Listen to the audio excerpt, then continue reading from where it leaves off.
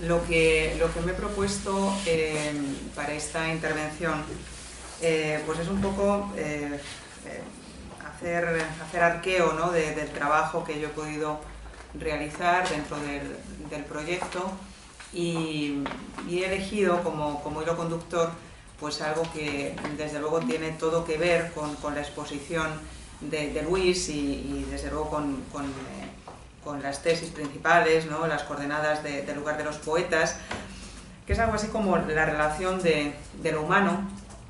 o incluso la necesidad que tiene la, humanitas ¿no? cuando, cuando la intentamos eh, plantear de la mano de, la crítica del juicio, eh, la necesidad que tiene esa cuestión de repensar lo que es el animal, incluso de repensar el acuerdo con algo en principio irracional, en principio álogón, con algo que, eh, digamos, no comparte eh, nuestro discurso, no, comparte nuestra articulación, no, comparte nuestra manera de articular pensamientos y, conceptos, pero sin embargo a mí eh, me, llama la atención, me llama poderosamente la atención que alguien como Kant haya considerado tan necesario, tan, tan exigible, digamos, para, su propia presentación del sentido común, pues incluir en esa escena de, casi reconocimiento mm, en el sentido, en un sentido compartido, eh, pues no directamente a dos seres humanos, no directamente a dos eh, seres racionales, ¿no? a ese tipo de, de, ente, ese tipo de ser que nos permitiría mm, troquelar lo que sería más bien el ideal de la belleza, más que una belleza libre, ¿no? sino que en esa escena originaria, en, esa, en esa escena originaria del sentido, pues nos encontramos eh, a un ser racional, a un paseante solitario, a un trasunto prácticamente del, del paseante rusoniano, ¿no? del paseante solitario rusoniano, y un pajarillo, un ave, el canto del ruiseñor, ¿no? cuando no se trata de, de, otro animal, pero la musicalidad de, de las aves, la musicalidad de, los pájaros, que es ese tipo de, animal del que Kant nos dice, desde luego en las lecciones de, pedagogía, pero algo recuerdo de nuestra traducción de la antropología en sentido pragmático, eh, a muchas manos, esa traducción a muchas manos, algo recuerdo de la imagen sobre los pájaros, donde, donde Kant dice pues, que, bueno, que todos los animales reciben del instinto aquello que tienen que conocer, eh, a excepción de los pájaros que tienen cierta tradición de, canto. ¿no? Eh, con independencia de lo anecdótico,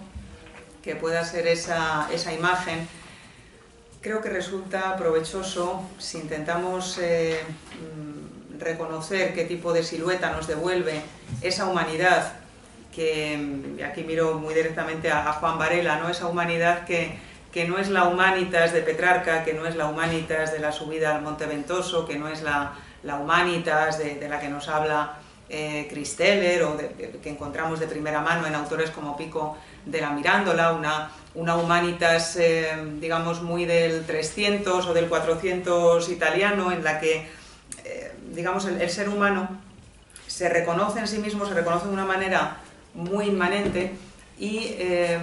no, no, requiere o rechaza, por lo menos en primera instancia, condiciones que creo que tienen que ver con un tipo de, de trascendencia necesaria cuando Kant quiere defender lo que, lo que es humano. ¿no? La, humanitas, la humanitas de la que nos habla, por ejemplo, eh, Kant en, ese único parágrafo que integra la metodología del gusto, la metodología que afecta al juicio estético, eh, esa humanitas desde luego no es una mera resonancia inmanente de mi yo, no es un paisaje interior, sino más bien un paisaje en el que creo que está eh, de una manera muy dinámica en acción la diferencia. Nos encontramos en, la idea que, por lo menos yo eh, con el paso de los años me voy quedando casi como un pozo ¿no? de qué es lo humano para Kant. En lo humano siempre hay una cierta, una cierta atención, un cierto cuidado de lo que calificaría compasión, pero compasión digamos, atravesada por el filtro de la razón, compasión dentro de los límites de la mera razón. Y esa compasión dentro de los límites de la mera razón, me da mucha pena que, Luis haya marchado porque eh, creo que podríamos haber discutido largo y tendido sobre ello, esa, esa compasión dentro de los límites de la mera razón responde, me parece, a algo que si no recuerdo yo muy mal está en los textos que os he repartido, en el parágrafo 34, de la doctrina de la virtud, de la, en la segunda parte de la metafísica de las costumbres, en la distinción kantiana entre lo que sería humanitas eh, práctica y humanitas estética. ¿no? Hay, hay una experiencia de la compasión donde la compasión recuerda un contagio, recuerda, pues en el fondo, a una, a una enfermedad, a enfermar, enfermar de dolor, enfermar de dolor ajeno. Pero hay una compasión productiva, hay una compasión provechosa, que es aquella que, creo que eh, Kant formula en los términos de humanitas práctica y no tanto humanitas estética. Otra cosa es que sin la estética mm, eh, tuviésemos acceso a la práctica, eso está, eh, digamos, en, discusión, yo creo que está en tela de juicio, sería imposible para nosotros los hombres, al menos para nosotros los mortales, como seres sensibles, aparte de, de racionales, como seres atravesados por el lenguaje, optar, digamos, tener una, un mínimo acceso a la humanitas práctica sin haber tenido, digamos, una, eh, un, cierto, eh, eh, un cierto uso, un cierto, una cierta experiencia de, lo que sería la humanitas estética, pero, pero claro, la humanitas práctica, como esa compasión que, digamos, si pasa el filtro de la razón o de la racionalidad, pues nos hace, de alguna manera, mm, aprender a situarnos en el lugar del otro y a situarnos en el lugar del otro de una manera empírica de la manera más empírica posible. Eh, comprender, digamos, la situación de los demás. En el parágrafo 35, y lo digo porque, bueno, por cuestión de tiempo, pues eh, seguramente no, no, tendremos ocasión de ir directamente a los, a los textos, en el parágrafo 35 Kant, eh, en relación con este sentido, digamos, admisible de la compasión, nos dice que, que a los niños no hay, los niños y los jóvenes, no hay que eh, eh, alejarlos, prohibirles eh, pues la visita de los hospitales o incluso la, visita donde nos encontramos a los individuos más pendencieros, de las cárceles, de aquellos lugares donde se sufre. Porque ese espectáculo, mm, lejos de ser un espectáculo cruento, un espectáculo que rompe el corazón, que, rompe los cuellos, la famosa expresión que nos encontramos en, en la crítica del juicio, ¿no? en el parágrafo 54, si no recuerdo yo muy mal, eh, hay un tipo de espectáculos, sobre todo poéticos, ¿no? sobre todo en esas historias que, eh, nos, cuentan los poetas, eh, donde uno pierde, digamos, todo uso debido del corazón, malversa el corazón, pero malversa, desde luego, también su cabeza, ¿no? su mente, su capacidad de pensar. No se trata de, de visitar hospitales, no se trata de visitar cárceles, con el ánimo de, perderse en una compasión que ya en las observaciones sobre el sentimiento de lo bello y lo sublime, eh, Kant había, eh, pues en fin, disuadido de, caer en ese sentimiento, de, digamos, convertirlo de alguna manera pues, en el sentimiento de la época, en el sentimiento que en la época, que en el siglo XVIII, pues está, eh, está sirviendo casi de antesala o de preparación para, para la simpatía, la simpatía como ese sentimiento de participación universal en el destino de otros. Más bien el modo en que mm, Kant se acerca a este tipo de espectáculos pues es como, escaleras, como, medios para la visibilización de la situación de otros. Y esto me parece especialmente interesante para eh, volver a la discusión, al punto de la discusión en, el que nos dejaba Luis, ¿eh? el hiato, digamos, entre experiencia, y entre determinación en el, caso de la racionalidad eh, práctica, porque, porque bueno, el hiato va a existir siempre, el hiato tiene todo que ver con el lugar del gusto, pero mm, digamos en el campo de la experiencia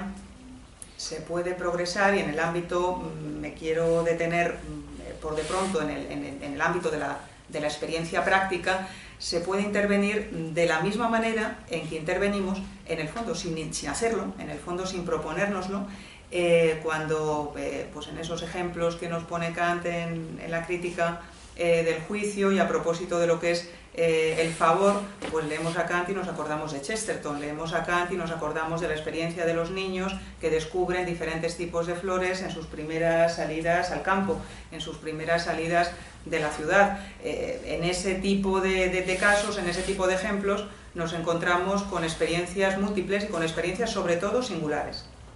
No se trata de juzgar, no se trata de, determinar ningún particular, como, como, sabemos todos, a partir del universal, sino de progresar en esa experiencia, sintiendo nuestro ánimo, y nuestro ánimo no es indiferente a esto que voy a decir, sintiendo nuestro ánimo que vamos colonizando que algo que no somos nosotros, que no es nuestro psiquismo, algo a lo que llamamos la razón, que no es en Kant precisamente, algo humano, algo endógeno, digamos, del ser humano, la razón mantiene, digamos, una distancia salutífera con respecto de lo humano y yo creo que eso hay que repetirlo y hay que, hay que recordarlo mucho porque forma parte de, digamos, eh, la resonancia y la actualidad que puede tener hoy en día un, eh, pensador como, como Kant. Nosotros no nos hemos olvidado de Kant porque creo que, no podemos olvidarnos de, esa distancia, que no podemos olvidarnos de, algo que para nosotros sigue siendo inquietante y, problemático. La razón y lo humano no son lo mismo. Eh, eh, otra cosa es que se están buscando constantemente, desde luego mm, eh, lo humano a la razón, evidentemente. El deseo, el modo en que funciona el deseo, el modo en que funcionan nuestras tendencias apetitivas, pues creo que todos estamos de acuerdo en que cuando encontramos mayor coincidencia entre nosotros, cuando encontramos un efecto de comunidad, el efecto de comunidad lo presentaba Luis eh, de la mano de, la, pregunta de María José, eh, el primer efecto de, comunidad, el más fuerte eh, para todos nosotros, es el sentimiento de, uso, el sentimiento de que uno está en lo público, de que uno está en el espacio, en el espacio público. La, digamos, la experiencia singular del niño que descubre la belleza de la rosa, la belleza de, la flor, que ni siquiera tiene que saber nombrar, eso que en digamos, la microhistoria del juicio nos encontramos retratado con esa imagen tan seductora y por otro lado con esa imagen pedagógicamente tan, tan densa de, efectos, en lo micro, digamos, ahí nos encontraríamos pues, con una con una experiencia que está poniendo en obra algo que, tiene todo que ver con la universalidad, algo que tiene que ver todo con la razón y con, eh, digamos, la presencia de la razón en lo que llamamos el mundo. ¿Qué tiene que ver con todo esto? ¿Qué tiene que ver, eh, digamos, con, este espacio, que en realidad es el espacio de, la experiencia estética? Pues eso de que nos podamos encontrar con, con los animales. ¿no? eso de que nos podamos encontrar con la bestia, eso de que podamos identificar en un diálogo ficticio, en un diálogo que tiene todo de poético y que, seguramente no puede tomar, mm, digamos, otro aspecto, no puede adoptar otro aspecto, qué es lo que nos da el animal, qué es lo que nos da el ruiseñor, qué es lo que, lo que le da el ave a ese paseante solitario en formato kantiano. Bueno, yo aquí he recogido, estoy dejando a un lado Diderot y Rousseau, pero enseguida voy a ello. He recogido tres eh, pasajes fundamentalmente de la crítica del juicio. Eh, los he eh, extraído de, una de las ediciones que tengo en casa, de la edición de Pablo Yarzún, para Monte Ávila, y he, modificado muy ligeramente los textos. empiezo con el parágrafo 60 de, la crítica del juicio, con ese único parágrafo al que me refería antes, de la metodología del gusto, de la metodología de, del juicio estético, del juicio estético reflexionante y continúo con un eh, breve extracto que procede de la, observación que encontramos eh, después de la primera parte de la crítica del juicio, de la crítica del juicio estético, y sigo con, otro pasaje, con otro extracto del parágrafo 42 de la crítica del juicio, el parágrafo que se ocupa del interés, eh, de pensar que sea eso, de justificar que hay algo así como un interés intelectual en, la belleza. ¿no? Un interés intelectual que siempre merece mucho la pena eh, eh, reconocer que viene antes ¿no? que, el, interés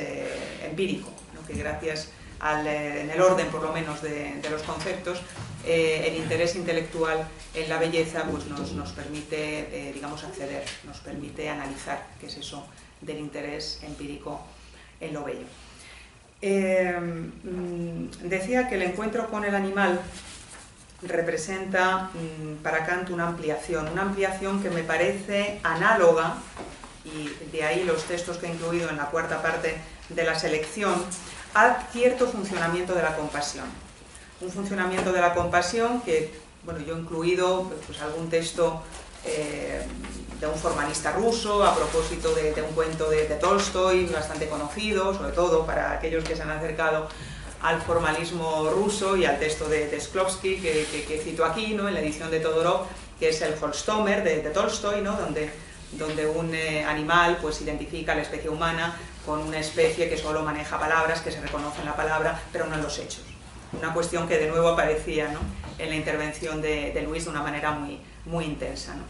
He incluido también en esa cuarta parte algún pasaje de, de Karl Kraus, algún pasaje de, La Antorcha en traducción de Adam Kovacic, un pasaje en concreto de, uno de los eh, artículos, a mi juicio, más impactantes de Karl Kraus en La Antorcha, que es una carta de Rosa Luxemburgo, una carta de Rosa Luxemburgo desde la cárcel de Berlín, poco antes de morir, reconociendo en, el dolor de un animal, en el dolor de un búfalo al que están eh, maltratando de manera tremendamente cruenta eh, y gratuita unos, unos trabajadores en el patio que, ella puede observar desde, desde la cárcel, el, canto, digamos, el himno a la comunidad, eh, si no humana, por lo menos sentimental, eh, con, ese búfalo, pues es situado, es posicionado por, por, Kraus al lado de una carta que recibe Kraus, no de Rosa Luxemburgo, que ya está muerta, sino más bien de una lectora de la antorcha, una lectora austríaca de, la antorcha, que le escribe a Kraus y, le intenta hacer ver, pero también al, público, ¿no? al que, al que eh, puede eh, digamos, presentar Kraus esta carta de una, de una lectora aventajada, pues esta, esta mujer eh, lo que pone en evidencia, lo que intenta poner en evidencia, pues es que Rosa Luxemburgo no conoce la vida en el campo, en, en Hungría, en Austria, en las grandes fincas que nos encontramos en, en esos países. Esas fincas las conoce muy bien la autora eh, de esta carta, esa lectora, eh, y ella pues, pues se, eh, digamos, se arroga el, derecho de, defender que, el, búfalo pues no tiene ninguna legitimidad, entre comillas, para, para mostrar ese sufrimiento y además encontrar la compañía de los seres humanos. Los seres humanos deberían ponerse del lado precisamente de los que maltratan al búfalo, porque si no lo maltratan, pues no pueden extraer de él los beneficios de los que el conjunto de la sociedad eh, puede presumir y puede enorgullecerse. Bueno, esas dos cartas, situadas en convivencia en el texto de, la antorcha, pues tienen como desenlace una, respuesta de Kraus, donde no tiene ningún problema en llamar bestia a esa lectora aventajada y, bueno, pues en, digamos, llamar la, la atención, reivindicar en el fondo que por mucho que la razón a secas no asista a Rosa Luxemburgo en la descripción que nos hace del sufrimiento animal, eh, pues desde luego sí hay una razón con mayúsculas, no hay razones quizá con mayúsculas que, nos hacen ponernos de su lado frente a esa mm, presunta sobriedad, a, esa presunta, a ese presunto principio de realidad que mueve el, juicio, que mueve el juicio de, esa lectora de, la antorcha. Em, termino con un texto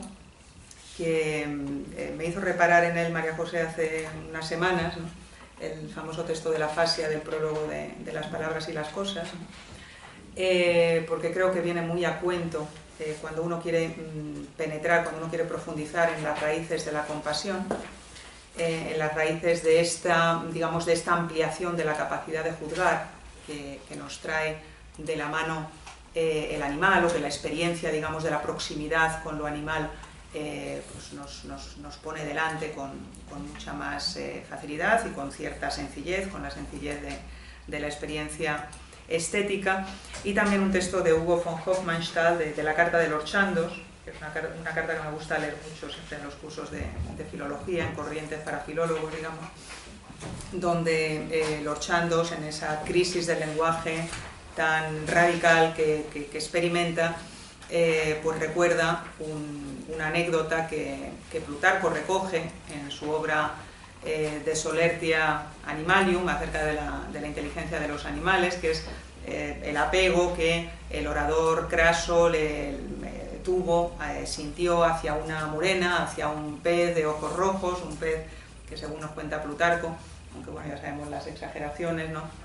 de esta literatura clásica, pues eh, Craso llegó a adornar con, eh, con, pendientes, con pulseras, incrustarle piedras preciosas, ¿no? el, apego de Craso con la murena, de, de, un ser humano, de un ser racional, de un ser dotado de juicio, eh, hacia un animal pues, que, nos remite a eso, álogon, ¿no? que nos remite a esa posición instalada en todo caso utilizando la geografía eh, que en el fondo es de todos, por mucho que la podamos discutir aristotélica, la primera página de la política de Aristóteles, una, una realidad viva que se, que se entiende desde la Fone, pero que desde luego no puede, no puede llegar eh, al logos. Esa cercanía de Craso con la Murena, pues eh, el Lord ese trasunto de, de Hugo von Hofmannsthal, eh, la toma como, como, un ejemplo, como un ejemplo personal, como un ejemplo de la experiencia, de la transformación que él está viviendo en ese momento en que los signos se vuelven herrumbre, en que los signos se oxidan. Esa es la, sensación, la sensación de asco que eh, experimenta eh, este individuo, que experimenta eh, seguramente el joven poeta, el jovencísimo poeta von Hofmannsthal y que, y que nos devuelve a los lectores y que, que de alguna manera pues a todos nos, nos interpela, ¿no? porque eh, estar en crisis con aquello que más se ama, pues es justamente eh, digamos, el lugar del que, del que proceden las grandes conmociones, las grandes, las grandes revisiones, ¿no? esa, esa afasia mm, que conduce aún más allá del lenguaje, pero que al mismo tiempo eh, convence incluso al propio von Hofmannsthal de que mm, digamos, no, hay, no hay un más acá, no hay un más allá, siempre estamos en el lenguaje, siempre volvemos al lenguaje, esta experiencia crítica me parece también interesante para, para analizar qué es lo que les pasa a los sujetos racionales, qué es lo que le pasa a la racionalidad eh, ilustrada del siglo XVIII, eh, de manera que, em, de modo dominante, con cierta sensación de hegemonía, los autores eh, buscan al animal, se ponen al encuentro del animal, aunque sea con diferentes intenciones, con diferentes eh, propósitos. Eh, vamos a ver, em, voy mal de tiempo, ¿no? ¿Cuánto más o menos? Como 15 minutos. Vale, perfecto. Eh, bueno, voy a intentar em,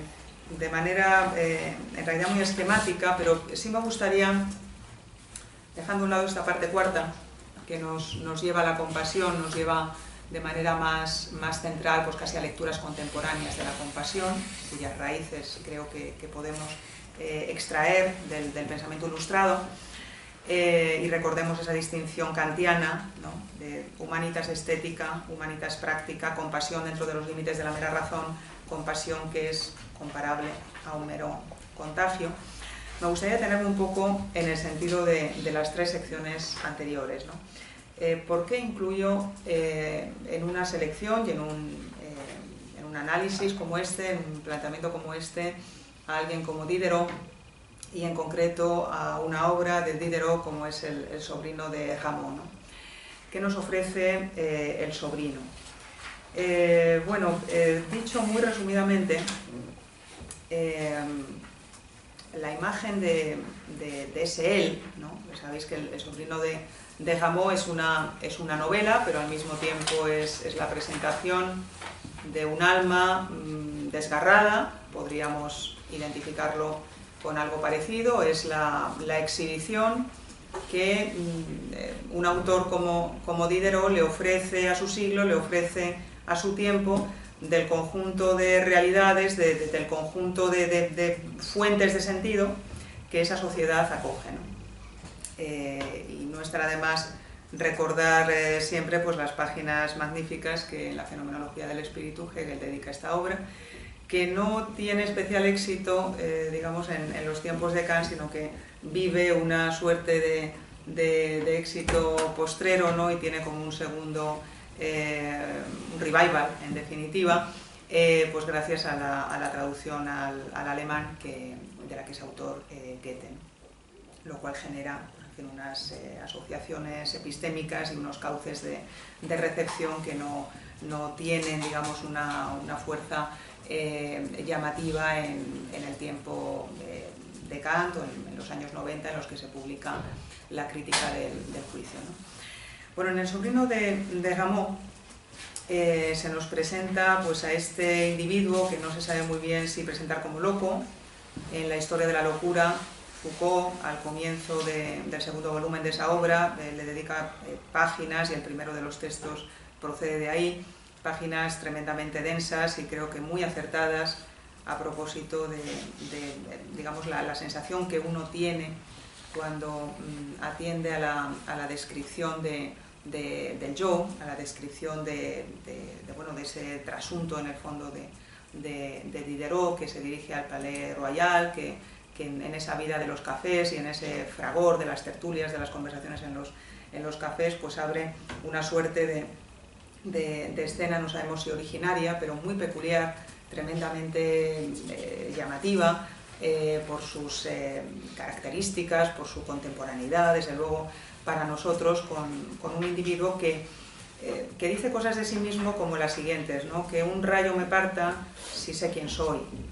yo no soy nada, yo soy, yo soy un espejo, soy un espejo eh, autotransparente, soy lo que está detrás del espejo en el fondo, no, eh, no soy nada porque soy todo. el último texto que encontráis en esta selección que os repartía, el texto de, de Starobinsky, que procede de esa colección de trabajos de Starobinsky, que, eh, es pues, muy recomendable y de lo, último que ha publicado de manera más sistemática Starobinsky, el, el Diderot en Diablo de Ramage, que tenéis en Gallimard en, 2012. Eh, como, como, señala, por ejemplo, Starobinsky, pues este nihilismo mm, casi programático eh, del sobrino responde en el fondo ni siquiera una teología negativa, no, se trata de, digamos, recalcar, no se trata de enfatizar eh, que Dios ha muerto, que en el lugar de Dios pues está esa pluralidad de, vidas, esa pluralidad de gestos y de caricaturas de, individuos más o menos aristócratas o más o menos burgueses que, nos encontramos en, esa gestualidad, en ese expresionismo disparado del sobrino, ¿no? sino que el, sobrino tiene digamos, una cierta necesidad Mm, de, vivirse como sustancia, de ser sustancia, ser eh, la sustancia de todo, ser, eh, digamos, el conjunto de las anécdotas que podemos encontrar en cada una de las vidas, en cada uno de los sujetos. Eh, desde luego, el tipo de, subjetividad, si es que podemos hacernos esa pregunta, y, de hecho el personaje yo en, la novela está constantemente buscando la conciencia de él y no la encuentra está constantemente buscando el sentido común con él y, no lo ve. Eh, ese sentido común no aparece. Yo creo que es una de las, de las eh, digamos, manifestaciones de, las notas estéticas, pero también teóricas, más provechosas de, esta novela de, Diderot. Em, el sobrino llega mm, a retratar, llega eh, a, presentar pues por qué ha eh, tenido que abandonar y abandonar pues con nocturnidad y en unas situaciones tremendamente precarias la casa de, de eh, emparejado, amancebado con, la malísima actriz Hus, a los cuales ha divertido durante bastantes meses, ¿no? el, sobrino pues es un parásito y, se sabe parásito y vive en una sociedad de parásitos y digamos que incumple una de las leyes eh, propias de los parásitos, que es no, mm, no disgustar eh, al, anfitrión, es decir, no, no practicar con el anfitrión pues eso de, eso de la burla cuando no viene a cuento, ¿no? y el, el, sobrino lo hace. El sobrino lo hace porque, porque en el fondo está guiado por una suerte de, por un remedo del imperativo categórico, ¿no? su imperativo categórico es, es ser todos, ponerse en el lugar de todos. Pero claro, no ponerse en el lugar de todos como se, como se sitúa la subjetividad, intentando construir pues, una personalidad, un carácter, eh, un personaje más o menos coherente. El sobrino se caracteriza por reducir todo aquello que toca, es decir, todo aquello que su mirada toca, todo aquello que ve, lo reduce a gesto. Y no solamente a gesto, lo reduce a caricatura. eh, nos encontramos eh, de la mano de esta acción del sobrino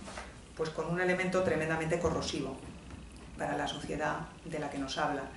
Y el sobrino mismo, ante el personaje de yo, él, ante el personaje de yo, eh, acaba poniendo de manifiesto pues bueno, su indignación por haber sido expulsado, su indignación por no haber sido comprendido. en el fondo el sobrino se presenta como una suerte de Sócrates, una suerte de Sócrates del antiguo régimen. Es un pez torpedo de, todos estos eh, burgueses, de todos estos aprendices de burgueses, de, todos estos actores, actores más o menos buenos, más o menos malos, que están jugando al juego al que llamamos sociedad. Y por eso seguramente desde un punto de vista kantiano, la obra más directamente interpelada por el sobrino de Ramón pues es la antropología en sentido pragmático.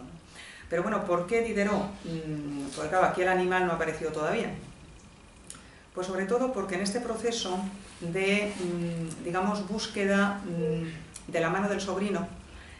de un lugar en el que el ser humano resulta irreconocible para sí mismo, y sin embargo quizá pues se encuentre con su eh, retrato más auténtico, con su retrato público más auténtico, de la mano de este proceso nos encontramos con una eh, progresiva animalización, bestialización de las atribuciones. Es decir, es como si mm, de la mano del análisis sociológico, antropológico que recorre como un bajo continuo el sobrino de, de eh, nos viéramos eh, enfrentados a una tesis según la cual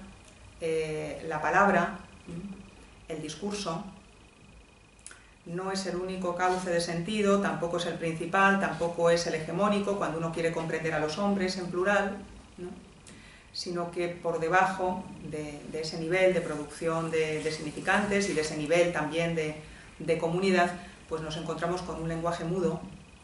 un lenguaje en el que nos quedamos sin palabra porque la palabra no vale, la palabra vale, pero vale para engañar, como decíamos antes, vale para aparentar, vale para producir por tanto figuras, la palabra en el fondo es estética fundamentalmente,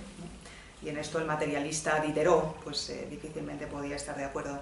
con el idealismo trascendental kantiano, Y cuando, eh, como decía, perdemos la palabra, pues lo que nos queda mm, es, digamos, esa asociación más o menos fácil eh, con el zorro, eh, o con la liebre, o con la rata, o con el perro, o con el gato. Es decir, el, ser humano, la sociedad humana, se animaliza y, se produce, digamos, el efecto bestiario. Y el efecto bestiario, tal y como aparece, digamos, eh, funcionando en el sobrino de, de pues es la verdad, es decir, es la verdad de lo social. Es lo que está detrás de los parapetos de las costumbres y precisamente cuando, cuando esa verdad aflora en los momentos incómodos, en los momentos en los que no toca, eh, pues en ese momento se, mata al mensajero, en ese momento se expulsa al mensajero que, es Jamo. En un texto que, acaba de, salir en, un volumen colectivo que he podido coordinar en Poéticas del Sujeto, Cartografías de lo Humano, en Ediciones Complutense, en el capítulo en el que me ocupo yo, precisamente del sobrino de Gamo, eh, he comparado, y ahí comparto bastantes elementos de juicio con, mi admirado Guillermo de Eugenio, eh, autor de, Máscaras e Identidad en la Cultura Ilustrada, que tenéis en, Biblioteca Nueva. Eh, he comparado este funcionamiento del sobrino acogido como parásito por, los huéspedes, por estos medio burgueses, por estos aspirantes a buenos burgueses, que en el fondo son, dos sujetos bastante, ridículos, con eh, digamos, pues una, pareja de, individuos que se hacen con un televisor, que enchufan el televisor y el televisor pues les va presentando las voces de lo real, les va presentando eh, lo que circula en la calle, les va presentando eh, el mundo que les rodea, los grupos sociales a los que se acercan, que tienen más o menos cerca, más o menos lejos. Cuando les parece bien, es decir, cuando se hartan, cuando, cuando aparece el tedio o el hartazgo, apagan el televisor. El problema es que el sobrino insiste en no apagarse, insiste en seguir, en seguir, en seguir. Y, claro, ese, ese, efecto no estaba en el contrato, ese efecto no, no, es algo con lo que contaran sus protectores y por tanto lo, lo expulsan. De, esta primera, de esta primera cala del, del momento, digamos, Diderot, en la selección y en mi propia intervención, pues con lo que me quedaría mm, es, digamos, con que mm, aquí nos encontramos, funcionando en Diderot, una animalidad que me parece muy poco kantiana. Me parece muy seductora, pero muy poco kantiana, en el sentido mm, de que, claro, lo, animal eh, para Diderot es lo más genuino del ser humano, pero precisamente porque lo más genuino para el ser humano no es la búsqueda, la producción de sentido, la receptividad al sentido, el encontrarse con el otro, con el otro en ese lugar que no es la sociedad, que tampoco es el mundo inteligible, que tampoco es directamente el reino de los fines, aunque sea muy útil, muy provechoso para trabajar en beneficio del mundo de los fines y que es, digamos, el espacio de resonancia de lo que podemos calificar como logos, palabra. Sentir que hemos ingresado en el sentido, sentir que que antes de pelearnos por los significados, pues estamos eh, moviéndonos en un, en un, lugar, en un lugar en el que hay cierta dinamicidad, en el que mm, se puede hablar, en el que la palabra sirve para algo, otra cosa es que no sea una palabra pragmática, y aunque solo sea de manera monumental, nuestro ánimo recibe ese efecto, nuestro ánimo se siente interpelado. Eh, ese materialista que es Diderot, pues claro, siempre nos lleva a lugares en los cuales el ser humano ha desaparecido, pero sin embargo, fijaos en lo siguiente, ¿no? en una carta a Sophie Volant, que no recuerdo exactamente el año, pero, pero coqueteando con la idea de la muerte, con la idea de que ambos mueran, con, con la idea de que sean reducidos a polvo, de que sean reducidos a ceniza, eh, pues incluso colocándose, situándose con la, con la mirada, con la mente en ese, en ese momento de, cruenta desaparición, de, cruenta, de cruento fin del vínculo afectivo que le liga a Sofía Bolán, eh, pues Diderot dice algo así como incluso en, en ese momento,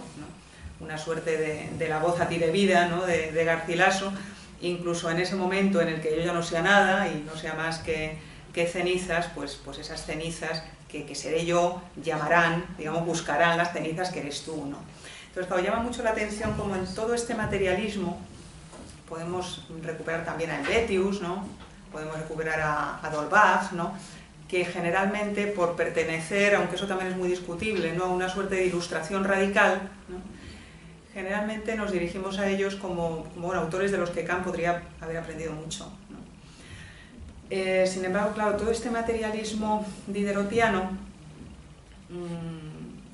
nos, devuelve o, nos hace desembocar pues precisamente en, peticiones de principio muy humanas y en un humanismo, en un, en un humanismo digamos postrero, en un humanismo como desenlace en el que aun sabiendo que en fin el atomismo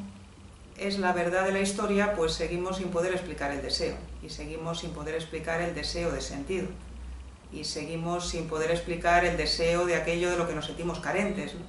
Y como nos sentimos incapaces para explicarlo por medios atomistas quizá o por medios puramente materialistas, pues entonces por una petición de principio generamos la imagen de lo humano, generamos en lo inhumano pues el rostro de, lo humano. Eh, me parece que la opción kantiana es diferente, es más sutil. Es más sutil, no que quieras aquí defender a Kant, pero vamos, eh, eh, cuando uno lee los textos, digamos, el efecto sorpresa o incluso el efecto McGuffin en, los textos de la crítica del juicio, en los pasajes de la crítica del juicio, pues es mucho más, eh, está mucho más bien hecho. Es, eh, me parece, digamos, más, em, eh, más diestro, más, más hábil ¿no? el, camino, el camino kantiano que, en definitiva pues, nos, devuelve al animal, nos lleva al ave, nos lleva a ese, a ese ruiseñor, incluso a sabiendas de que em, en ese encuentro eh, pues está en juego algo parecido al cariño, algo parecido al sentimiento, incluso algo parecido a una débil compasión, más que a una admiración, pues, eh, por ejemplo, por la, habilidad técnica manifiesta de, lo que puede ser el, sonido musical, el canto del, ruiseñor. Basta, basta ver cómo se refiere Kant pues, a esos eh, anfitriones burlones, ¿no? que cuando se han llevado invitados a su casa de campo eh, para distraerles, pero en el fondo también para eh, quedarse con ellos, ¿no? entre comillas, pues lo que hacen es fingir el, canto del ruiseñor o el canto del, del pájaro colocando unos pájaros de madera o colocando unos tubos que un, un compadre burlón, ¿no? como dicen como dice Can por detrás y de manera eh, enmascarada, pues empiezan a, empiezan a soplar, ¿no? imitando el canto natural. Eh, ese reemplazo, esa sustitución, eh, llama la atención siempre Kant, nosotros la rechazamos.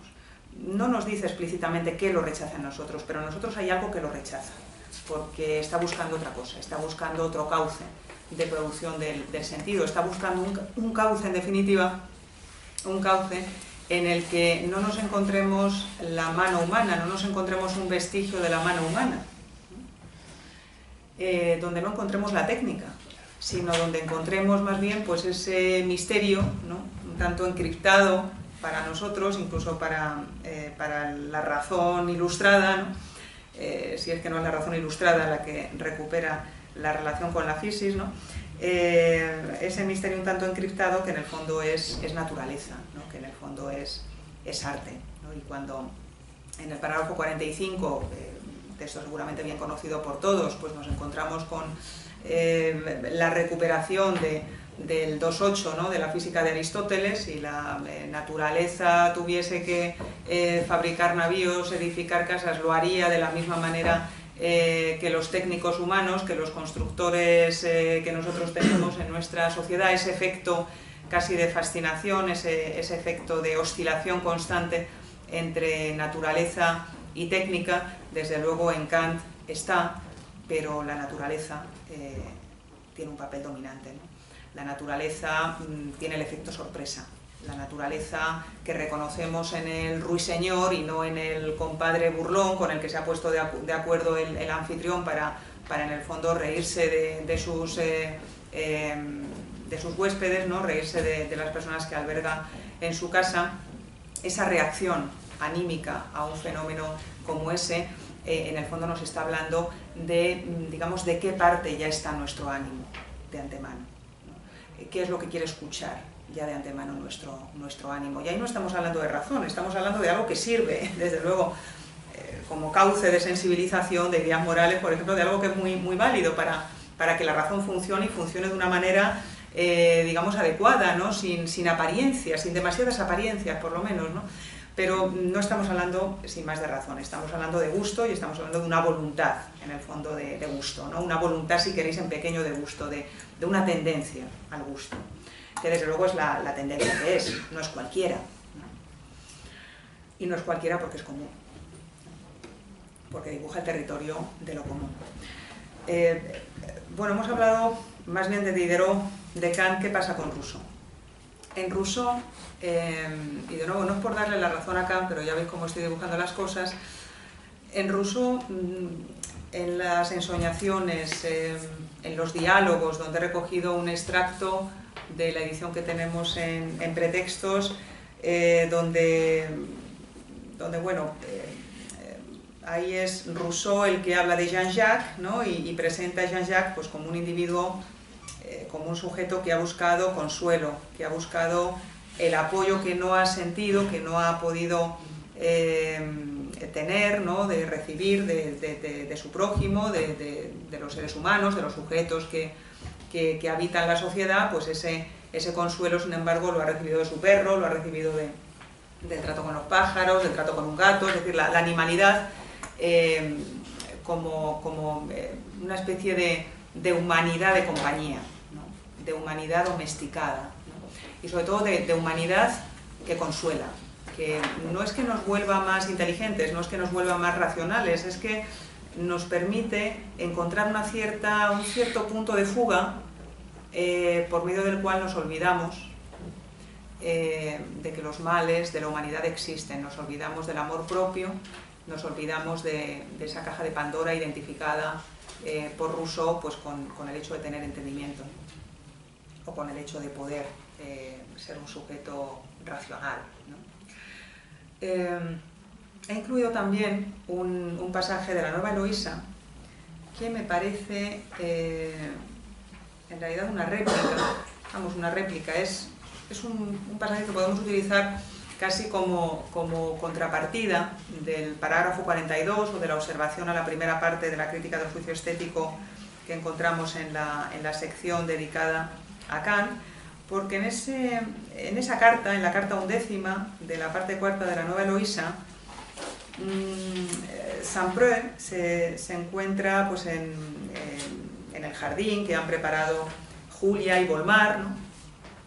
y el jardín le parece muy libre, Mm, vamos, en realidad en el jardín no encuentra la frontera entre la técnica y la fisis, no encuentra la frontera entre técnica y fisis, no encuentra la frontera entre lo artificial y lo natural. Entonces le llama la atención, le llama la atención esa convivencia con los animales, especialmente con las aves. Entonces cuando, cuando se dirige eh, Saint-Preux, cuando, cuando se encuentra eh, ante este jardín, más a la inglesa, digamos, que, a la francesa, como era del gusto de, Rousseau. Eh, pues claro, él eh, le, llama la atención, lo primero que, enuncia es qué bien estáis acogiendo aquí a las aves, ¿no? Qué, buenos anfitriones de las aves sois, ¿no? sin embargo, Julia le dice, no, es al contrario. Es al contrario, hemos conseguido con mucha paciencia, hemos conseguido con, unos hábitos que tienen todo que ver con el dominio del tiempo y por tanto con el dominio de, la impaciencia humana, con saber controlarse, saber no actuar demasiado, hemos conseguido eh, nosotros que ellos nos reciban. Es decir, los que son anfitriones son los pájaros, nosotros entramos en su casa y no les molestamos. Hemos conseguido dar con ese término medio. Hemos conseguido dejar de ser humanos en la medida de lo posible, todo lo posible, de suerte que los animales, de suerte que estas aves nos dejen entrar en su territorio. Claro, ¿qué nos encontramos aquí? ¿Qué nos encontramos aquí identificado con el, con el lenguaje animal? Pues yo creo que como siempre ocurre en las herborizaciones, en, el aprecio por el lenguaje botánico en Rousseau, eh, como siempre ocurre en eso que Levi-Strauss nos dice, por ejemplo, en el famoso texto del volumen segundo de Antropología Estructural, de Rousseau, el fundador de las ciencias humanas, eh, los lenguajes apreciados por Rousseau, el lenguaje a secas, la lingüística, lo lingüístico, podríamos decir, la música, la botánica, son un tipo de, lenguajes que le resultan especialmente mm, útiles, le resultan especialmente, eh, por otro lado, eh, pues en fin, consoladores de los males, de los males humanos, porque se trata de, lenguajes tremendamente interiores, tremendamente clausurados. En ese lenguaje no hay afuera, en ese lenguaje hay una obsesión, no quiero hablar de obsesión neurótica, hay ritornellos. Y hay ritornellos que, digamos, de manera salutífera para el ánimo, en este caso de Rousseau, empiezan a producirse, empiezan a variar, hay modulaciones, hay transformaciones, hay metamorfosis de los retorneros, pero en el fondo es el mismo principio. Y en ese principio, que eh, sabéis toda la repercusión que tiene para la propia teoría política de Rousseau, para el modo en que está montado el contrato social, el contrato social no es amigo de la deliberación, y eso creo que siempre merece la pena eh, tenerlo en cuenta, no es, eh, digamos, resultado de la diferencia, no es el, punto de llegada a partir de una contraposición de puntos de vista, de perspectivas, de manera que podamos filtrar lo que puede valer para todos, aunque sea de, una manera mm, relativa, discutible, pero, pero digamos para, ir teniendo puntos de referencia compartidos. Eh, de la mano de estos ritornellos, el sujeto se encuentra con una parte de sí mismo que le parece también parte de cualquier otro, y que declara como imperativo mm, no hay salida, no hay afuera, no hay afuera de este paraíso. En el fondo Rousseau, al describirnos eh, mm, toda esta felicidad vegetal, pero que en el fondo también es felicidad en vecindad con los seres animales, con los seres vivos animales, con las bestias, en el fondo lo que nos está diciendo es nadie me arrancará de este paraíso. Eh, claro, nadie me arrancará de este paraíso, de este paraíso de soledad, pero al mismo tiempo de, comunicación, al mismo tiempo de, comunidad proyectada, de comunidad posible, eh, pues creo que es una lección que Kant aprende, ¿no? él, mismo, mismo lo confiesa, leyendo a Rousseau, pues, eh, pues ha encontrado una línea de, comunidad, una línea de lo comunitario que de otra manera pues no, no habría tenido tan, tan presente. Pero claro, en el caso, en el caso rusoniano, eh, yo no tengo demasiado claro que el animal esté funcionando como eh, símbolo, siquiera, como referente de la diferencia. El animal, más bien, es el perfecto interlocutor de ese psiquismo al que llamamos Rousseau, de ese psiquismo que también es ruso. Es decir, el, el animal es justamente el mejor hombre, es mejor que el hombre, es el superhombre rusoniano, pero claro, es el superhombre porque, eh, digamos, no hay feedback, no, hay, eh, no hay reacción disruptiva, no hay reacción de rechazo. Y eso me parece, o me parecen estos elementos importantes para hacernos cargo del, tipo de paisaje que eh, se dibuja a propósito de la frontera entre lo humano y lo animal cuando nos detenemos en un autor como, como Rousseau. Si nos vamos a Kant y si nos vamos en concreto al parágrafo 60, y casi voy a terminar con esto, porque claro, ya eh, pues me, he enrollado mucho. En este parágrafo 60 que me gustaría leer, pues, eh, si no completo, casi completo, al menos el, el, pasaje casi, casi íntegro, que, recojo aquí de, de, este texto, de este texto final de la crítica del juicio estético, la definición que quise dar de, propedéutica del arte bello, si contextualizamos un poco antes de, leerlo, eh, pues tiene todo que ver con eh, un aprendizaje de las diferencias. Y un aprendizaje, por de pronto, de mm, la parte más culta de la sociedad, la parte más tosca, más ruda de la sociedad, tienen que encontrar una vara de medir común pero la parte, eh, digamos, más elegante, más alejandrina de, la sociedad eh, nunca se identificará, nunca se transformará, eh, y de hecho no es lo que se está pidiendo aquí, en, la plebe ¿no? o en el pueblo. No se, trata, no se trata de eso, sino que más bien lo, lo que Kant está presentando como gusto y lo que Kant está presentando justamente como, como experiencia de lo humano, como aquello que nos acerca más precisamente a, lo humano, incluso mm, aquello en lo que consiste, o en lo que deberían consistir las humaniora, que, a veces no reparamos en ello, pero claro, son disciplinas que nos vuelven más humanos, son disciplinas que nos humanizan, que nos van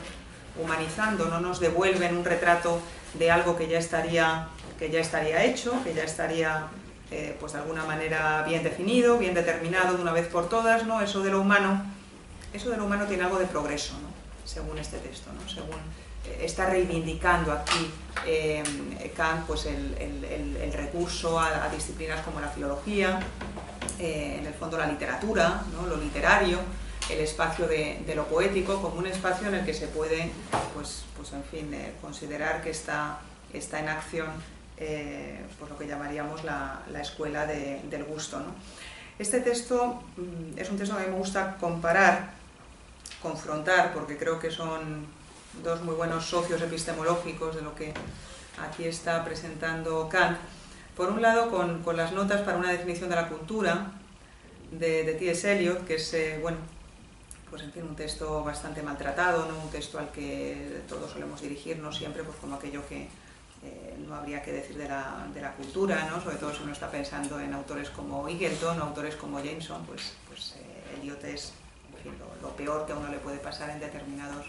en determinados foros. También pasa lo contrario, pero vamos, lo que a uno le puede pasar, lo peor que le puede pasar en determinados foros, pues es citar a Eliot ¿no? en esas notas para una definición de la cultura que tenemos traducidas por Félix de Azúa, una traducción que, tiene ya bastante tiempo, eh, pues Eliot no deja de llamar la atención sobre el hecho de que la cultura es común, y además la cultura es casi todo, porque, porque la cultura va desde las carreras de caballos hasta los alimentos que, que, son típicos de una localidad, es decir, eso de la cultura es tremendamente amplio porque es constituyente, porque, porque no es solo una gramática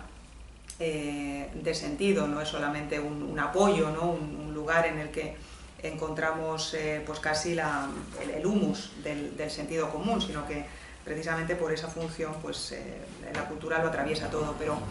pero dentro de lo compartido, Eliot llama la atención acerca de, que siempre habrá grupos sociales más conscientes de lo que significa la cultura que otros. Es decir, hay, un, hay unos rasgos de, pasividad, actividad, hay una, hay, hay una pareja, acción, pasión, evidente en su, en su lectura. Eh, en el texto de Kant no se trata tanto de acción-pasión, se trata de, confluencia de lo diferente. Se trata de, mm, de que, los que están arriba, los que están abajo, desde el punto de vista cultural, de la misma manera que eso que llamamos libertad y eso que llamamos coacción, se puedan enlazar en la buscada, en lo que han buscado todos los pueblos dignos de llamarse así o que que al menos han dejado alguna huella, algún rastro tras de ellos, precisamente por su compromiso eh, con lo común, eso que eh, los pueblos dignos de llamarse con este nombre pues han buscado como sociabilidad legal, una sociabilidad que no recuerde, digamos, al, horizonte de, las bestias, sino más bien a un, horizonte en el que haya algo que decirse mutuamente, en el que haya eh, algo de lo que hablar, en el fondo, ¿no? y por tanto que haya espacio público historietas, más o menos privadas, más o menos eh, compartidas en, los ámbitos domésticos, sino que haya pues, pues, un espacio público. Otro texto que me gusta mucho eh, confrontar con, este parágrafo 60 eh, es un texto de Orwell, El, camino a White Vampire, que es en realidad un informe que, le pide el Partido Laborista a, Orwell y en el que él pues, va, levantando acta, va, presentando la vida de, los mineros, de la, cuenca minera eh, inglesa en, una zona eh, en torno a Manchester y, bueno, pues como, os podéis imaginar, pues es un, es un retrato de vidas precarias, ¿no? es, un, retrato de, vidas en las que la supervivencia pues, pues es la, cuestión central o es el nervio digamos, de, cuidado de, de estos sujetos. ¿no? Eh, y en ese texto eh, también Orwell ¿no? se, se detiene en, marcar, pues, si no un precepto, por lo menos un consejo, que a mí me parece también muy, muy kantiano, como me lo parece también eh, el, texto de Eliot.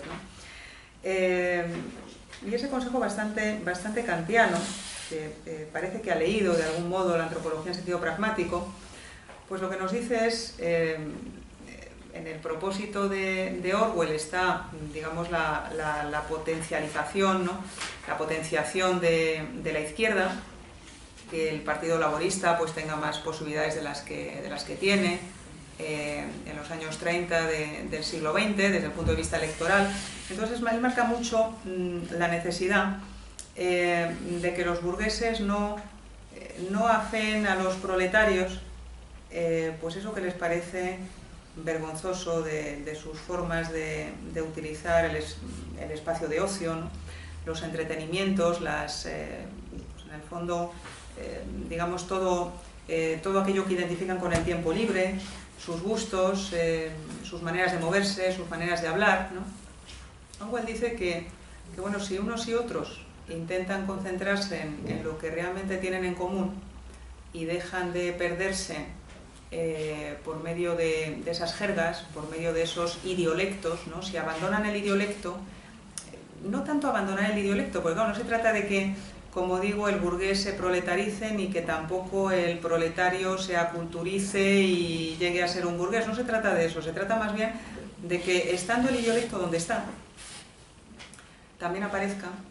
pues precisamente ese milagro del encuentro. El milagro del encuentro, pues, pues, por ejemplo la reivindicación compartida que tanto unos como otros van a tener eh, de un buen sistema de salud o de derechos sociales mínimamente dignos.